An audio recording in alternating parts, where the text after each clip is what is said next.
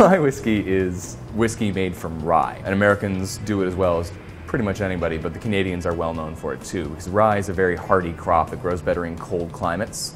So while it's difficult to distill, because there are proteins in the mash that will make it stick together and turn, you know, what would otherwise be delicious, delicious liquor into oatmeal. It's a little harder to work with, but it's a very delicious grain. It's light, spicy. You have producers who will do very high proof, uh, very oily and very aggressive. And you have producers who will do lighter and softer rye whiskeys. It almost drinks more like a bourbon. So there's a wide variety in the style of rye. And you can even have, you know, your white whiskeys, uh, which is to say this is an unaged whiskey uh, directly from the still. It uh, smells a little bit like gasoline.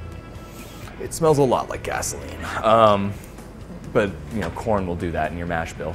Rye whiskeys are 51% rye in the mash bill, at the least, to be called straight rye whiskey. They'll add other grains, barley, wheat, corn, make it softer or sweeter or a little more rounded, but it means that it's at least 51% rye. And those are some facts about rye whiskey.